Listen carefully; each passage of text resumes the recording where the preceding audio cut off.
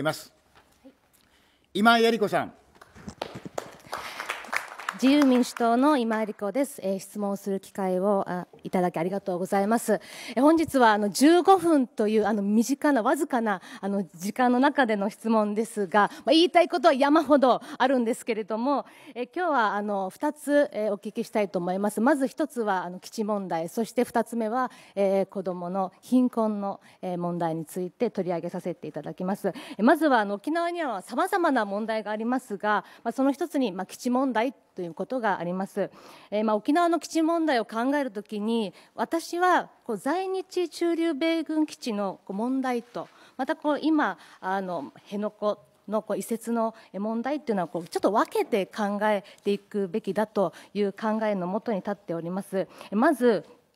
この在日駐留米軍基地問題における沖縄の負担がですねいかに大きいのかを表す数字がいろいろあります。例えば70.28%というこの数字、まあ、これはあの日本国内にある米軍基地の面積、えー、まあそのうち沖縄県にあるこう米軍基地の面積のこの割合なんです、まあ、まさに日本が負担する、えー、米軍基地の7割を沖縄が負担しているという、まあ、実感できる数字で、えー、あることでしょう、まあ、そしてもう一つ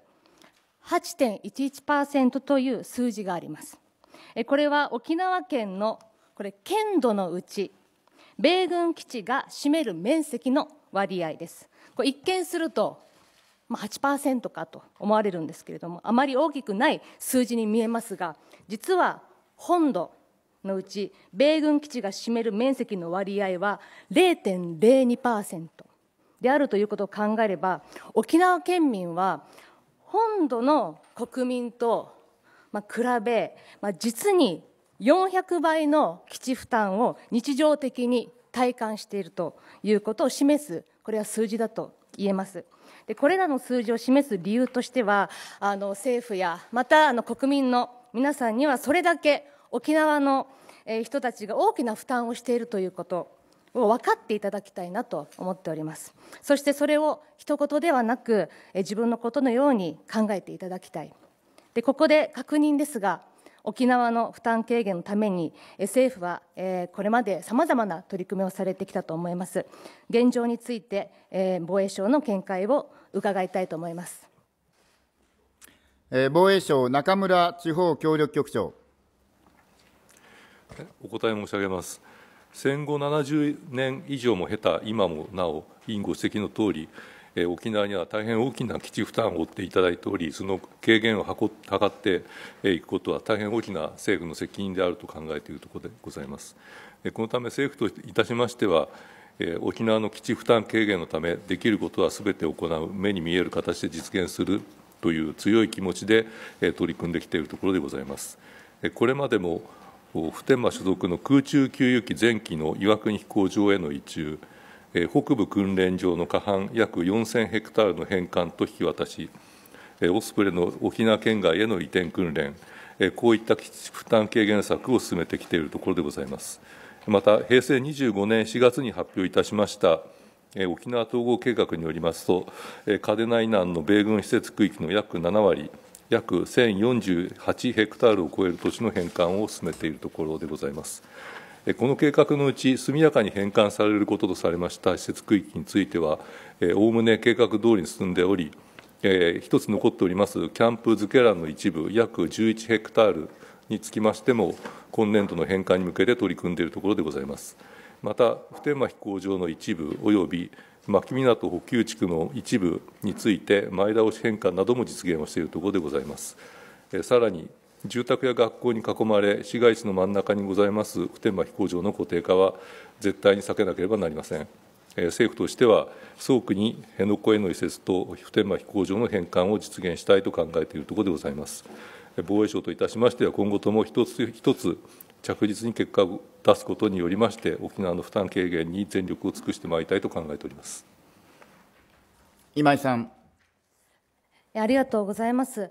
まあ、今あのご説明がありましたように、まあ、基地のまあこう縮小というのは、まあ、あの少しずつまあ進んでいると思いますが、まあ、引き続きですね、まあ、政府においてはこう情熱を持って本当にあの縮小していくんだと。いうその決意のもとあのやっていただきたい。あの31のこう米軍専用施設のうちですね沖縄本島、まあ、中南部のこう人口密集地にはこう普天間飛行場などこう16のですね米軍専用基地があるんです。えー、中でもこう普天間基地というのは、まあ、世界一危険な基地とも言われておりますので、まあ、一刻も早くこの危険をですね除去することが求められています。沖縄県民にですね見える形でこうビジョンを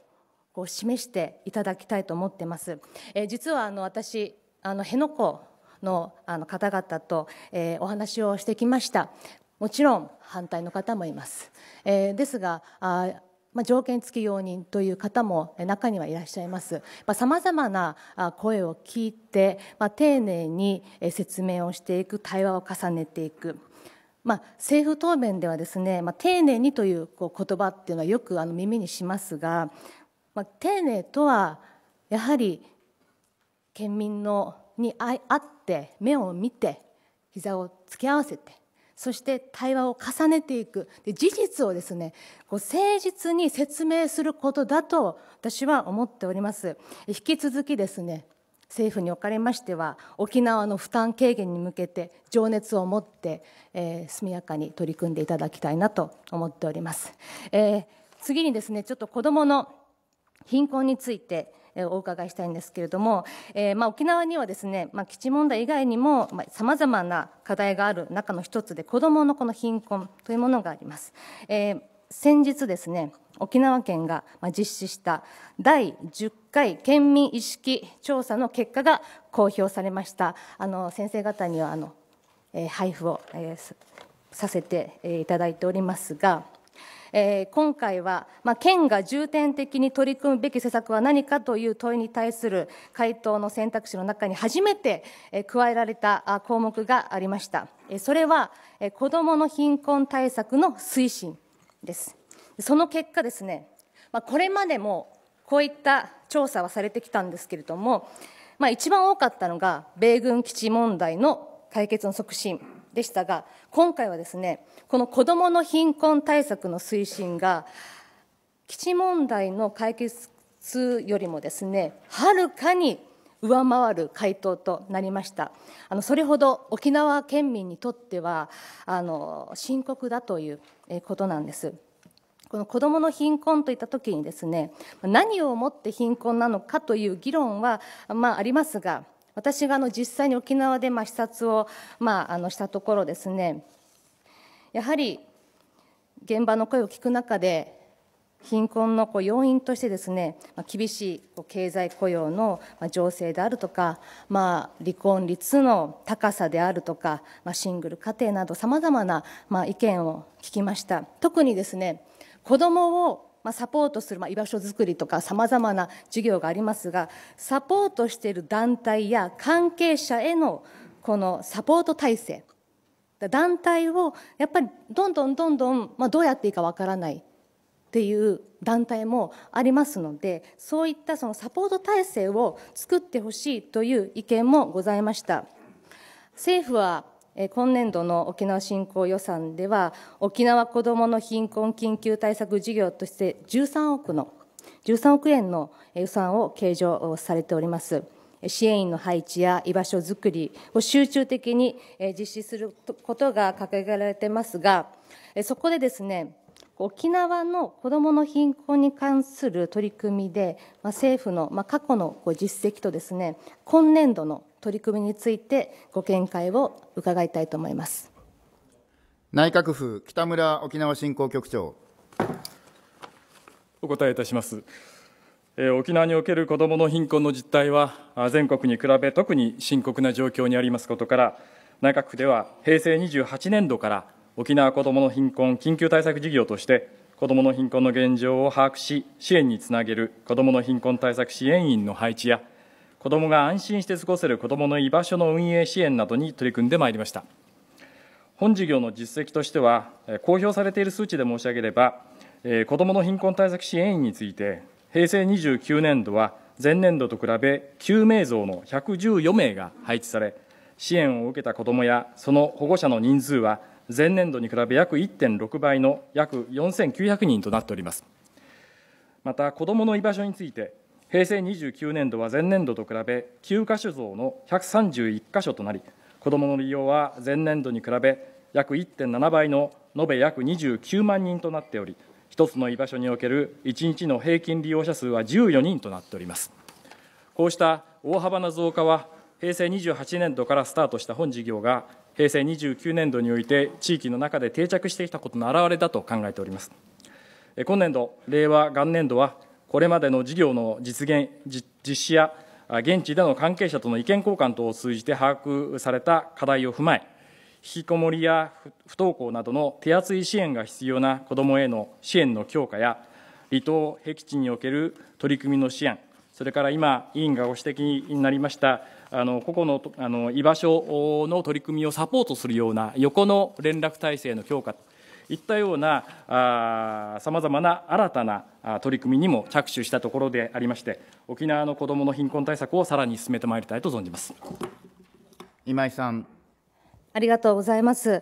やはりこう内閣府の、まあ、この13億という予算で本当に助かっているとあの極めてあの効果が本当に高いのでやはりこう継続拡充っていうのをお願いしたいという声でまたあの居場所は本当に大切だとなのでこうずっとやっぱ継続してもらいたいえしかしですねやはりあの、まあ、今のままでは、ま、不安も残るこの予算が本当に今後続くのかどうなのかという不安の声もあります。でも貧困の問題っていうのはやっぱ長期的にですね取り組むべきあの問題でもありまたはあの県民のまあ意識調査でもですねとても関心が高い、えー、調査でああったということがありますのでぜひですねあのこれはですね予算措置をこう減額することなくですねまた継続をしていただきたいという、えー、思いがあります。最後にですね大臣のこの子どもの貧困対策に関して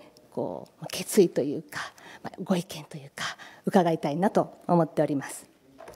宮越内閣府特命担当大臣。今ほど沖縄振興局長から申し上げましたが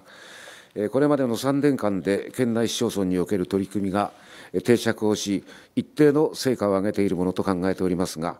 事業の実施等を通じ、従来の取り組みでは、対応が難しい新たな課題が把握されたことから、今年度は手厚い支援が必要な子どもへの支援の強化など、新たな取り組みにも着手することとしております。あの私も就任以来、沖縄県における、ま、子どもの居場所、ま、具体的には食事支援、えさらには学習支援、え、その現場を見てまいりました。えーまあそこで支援に取り組んでおいでになる方々のお話もしっかりとお聞きをし、深刻な状況を、ま、目の当たりにしてまいりました。でさらには若年妊産婦の方々をサポートしておいでになるところも行ってまいりました。大変この深刻な状況であると思っております。私自身、例えば宮古島市のある学習支援支援教室に行ってまい行った時にですね8歳の女のお子さんと、まあ、孫娘と同じ年でありますので一度に仲いっぺんに仲良しになりましてで東京に戻りましてからお手紙を出しました、えー、その後しばらくして、えー、返事が届きましてその返事の中には私には夢がありますと。それは、えー、看護師さんになることですと。しっかりこの後頑張りますとこういうふうに書いてありましたやはりそのそういう子どもさん継続的にしっかりと支援をしていくということが大事ではないかと思っております。えー、子どもの貧困対策につきましては、息の長い取り組みが必要でありまして、引き続き沖縄県や市町村のほか、経済界や教育界など、さまざまな立場の皆様と連携して、引き続きしっかりと取り組んでまいりたいというふうに考えております今井さん。ありがとうございました。沖縄の子どもたちがこう経済的な理由でこう夢をですね奪うようなことではなく、夢をこう持ち続けて叶えられるようなそういった環境づくりというのをですねぜひあの宮越大臣のこの強いリーダーシップの下で、えー取り組んでいただきたいと思っております。まあ、本日、えー沖縄の子どもの貧困問題、基地の問題を取り上げさせていただきましたが、あのまあこの問題まあ、子どもの貧困も含め、まあ、基地問題も含めですねこれは沖縄県だけにとどまらずやっぱ全国皆さんで考えるべき問題だと思っておりますので今後も引き続き、えー私も取り組ませていただきたいなと思っております。これで質問を終わります。ありがとうございました。